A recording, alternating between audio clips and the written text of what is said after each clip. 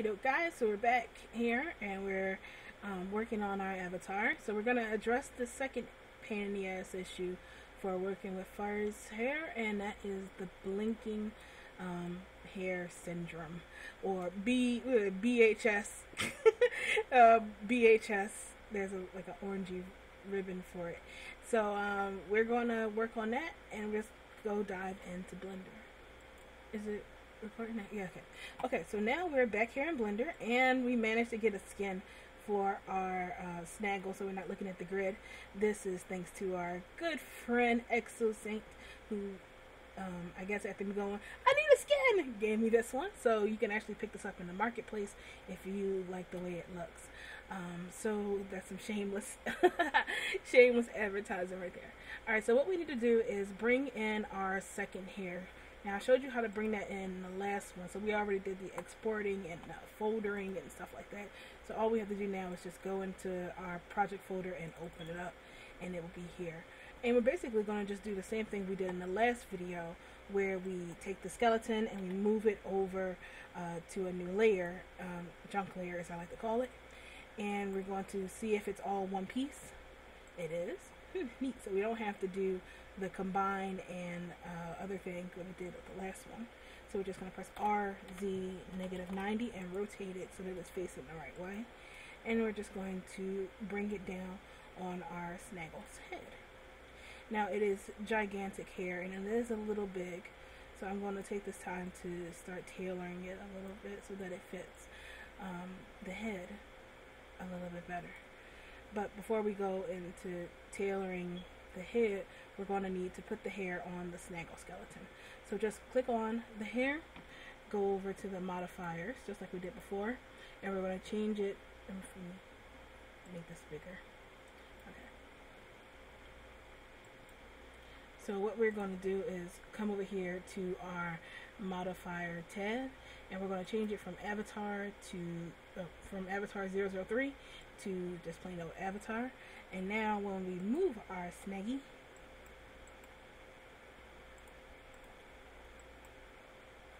oops, see the hair is compliant and moving along with us. Now I'm going to Alt R and G because I think I may have shifted her pelvis a little bit. There we go. Alright, everything's set. now, one of the other reasons why I liked using the snaggle is because Kemp, when he um, rigged it, he also threw in an animation that blinks. So you can see the problem actually in Blender. Let me start the animation over. Uh, well, let me pause it, put it to the front frame. And then, make this a little bigger. Then we press play. So you can actually see that when the snaggle goes to blink, the hair moves too. And that's kind of why I wanted to use a snaggle as an example because it has that animation already in there. so thanks to Camp for doing that one. Um, so we're going to take care of that. But first things first, let's do the tailoring um, and fitting the hair on the uh, snaggle spot. So we're just going to click on it. We're going to press tab. We're going to do the same thing we did before. Um, press A, press Alt J. Oh no. Yeah, Alt J. Make sure that compare UVs box is checked. And then we're going to press W and remove the weight, the doubles. You see it removed all that, and it is kind of satisfying. Uh, then we can grab our um, vertex thingy here. And with proportional edit is selected on, we're to pull this out. I know you got to pull it a little bit more with the snaggle head because it's a transparency thing here So pull it out. And you see there's all this, you probably can't really see it that great because of the netting here in edit mode. But when we go to object mode, you can see there's all this hair back here that needs to be pulled up because we shouldn't see our snaggle skull. We should just pull it up a little bit. Now, if it is a little too hard for you to understand what's happening uh, with the texture, we can just apply that real quick. So just going back into edit mode and press A, and then uh, we are going to go into our UVs. So just open, go to our project folder, find the blonde hair,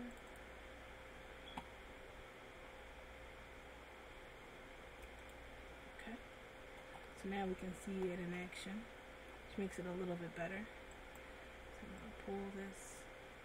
And if you find that your field of influence is too big, just press G and scroll your mouse wheel in. Uh, that makes it smaller. Scrolling it out makes it bigger. So that's how you wield the soft editor. I'm just going to pull it until we don't see any scalp. And I don't want all this hair here. Let's see. So I guess the hair should start about here, right? And pull it closer to like that. I'm gonna pull it out of her face. Nobody likes their hair in their face. On their face, but not in. And uh, another thing I didn't talk about before was you can actually edit single pieces instead of everything together. That. You can just switch it from enable to connected. And you can edit single strands if you want to, or single locks instead of the full thing. So that's fine. but I need to edit the full thing. And uh, another thing that they like to do is um, with hair that goes across your chest is to give it a bit of distance away from you. That way clothes can fit under there. So it depends on how much clothes you want to wear. You can also use this extraction thing to extract your clothes. That way you can tailor your hair uh, to your outfits if you're like that picky. um, so I'm going to pause it real quick and go and answer that text because it's going to keep popping up. So I'll be right back.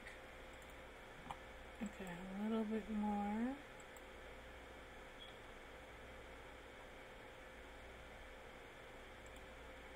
And I think that's it. Actually, no, it's, this one here is bugging me. Strand. It's bothering me. So I just want to pull these out. And there we go. And that one. There we go. So, there we go. And now it's all rigged and tailored to her chrome dome, and we can now go and export. Um, no, no, not export. We need to um, fix the blinking problem. So the problem is the hair is rigged for a female human head. And what these creators do when they're rigging for humans is that they use the fit mesh bones um, instead of the classic bones when they're doing that weight so for them, it's easier for us to use this um, head um, fit mesh bone instead of uh, M head classic bone. Now they do this because if you use the M head, uh, just not head, if you just use the head fit mesh bone, you're able to give people the ability to resize it by making their skull bigger or smaller and the hair will shrink and fit around the head a little bit better. That's why when you get stuff like I guess the kimono and they tell you, oh, just make your head smaller or something like that and the hair may fit on there. Um, that's because the weight is on the head uh, fit mesh bone. Now the problem with that is a lot of uh, furry avatar makers will use the head. Then this is like mostly pre-bento ones would use the fit mesh bones as additional bones um, so they didn't have to script stuff. Um, in this example here with the snaggle, the head bone, the head fit mesh bone was used uh, to rig the eyelids so that the avatar can blink without it having to use that shuffling through the alpha blinker effect that was in vogue at the time. Uh, so when bento came around, it pretty much became obsolete but a lot of furry creators are like, my system is still fine. You can still put other hair on. You can use unrigged hair, and they kind of just left it like here. So whenever you see somebody who made it for like humans with fit mesh or something, they still use the head thing. And when um, you go to blink, your hair blinks along with it. So that is the error, and this is the solution. Um, this is why I said use have a copy of Sparkles because it's a one button fix. I, I tell you, I kid you not.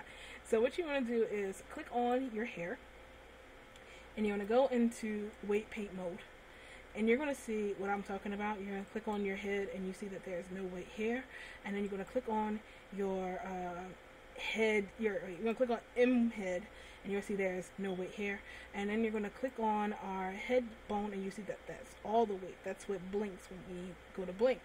So what we're going to do is, while in weight paint mode, click on our head head fit mesh bone, then go to the Avastar panel, and you're going to scroll down till you see weight tools. Is it here? Yeah, it's right here. Alright, so you're going to click on, scroll down till you see weight tools, and then you're going to press this button that says swap collision with deform. And it's fixed. So now when we go to click our head, you see that the weight that was once on uh, the blue, the M Fit Mesh head is now on our solid M head classic bones. So now when we go and blink, you'll notice if I, if I can blink, you see we're blinking and our hair is not moving. So that's the solution. It's just a press of a button and then you're set. Now you may want to go and click on the head um, fit mesh bone and press the remove weights just to make sure that there's no weight on that bone whatsoever and you, you're not blinking. Your hair's not blinking when you import it in World. So that's the solution to that. So now all we have to do is uh, separate it into materials so we can do the thing. So um, click on your hair, go into edit mode, press A, press P, separate by materials. Great. Um, uh, go back to the hair layer, which is this, I think. I have this, and then we're going to press File, Export uh, Collada, and I'm going to find our project folder. Um, Snaggle just 8 what it's going to be. Wait for it, wait for it. Then we put it here. Then we go into our Second Life thingamabob. I go File, Upload. What did I name it? Snaggle 8. And this is a great time if you had hair that has a lot of complexity and you're like, I can't wear it. You can turn it down here. Or you can leave this alone, whichever you choose to do. Include skin weight, upload. Alright.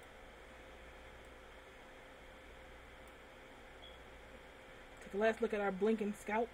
Blink one more time for us, baby. Uh, yeah. There we go. our last look at that. We're going to put on our new hair. Whoops, I lost my garment.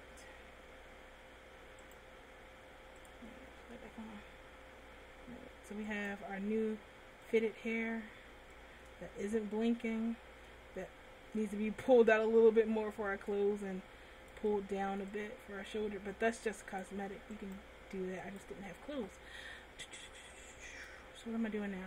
We're going to add our texture to it, so I'm just going to select this, go local, add these two. Uh, let's see, I guess this is the fringe, and that is the solid. We hit OK. And now we have our hair for this snaggle. And you see she's blinking and her hair is not blinking. Now I want to want to pull this curl out a little more. That way it fits over my boobs and looks right over my garment. I didn't have a dress on at the time, so I didn't have it as a reference. But um, if I was to take it off, see it still looks good because it's going like right in front of oh it is going into my chest a bit alright so I really need to edit that but for the most part you see it works totally fine so that's it for how to fix the blinking issue now we have to take care of the last pain yes the talk jaw hair wiggle and that one's pretty much the same. So let's go and jump on that, and we'll be finishing up this class. So I'll see you guys in the last episode. If that's all you wanted to know, thanks for hanging out with me, and I'll see you in the next video.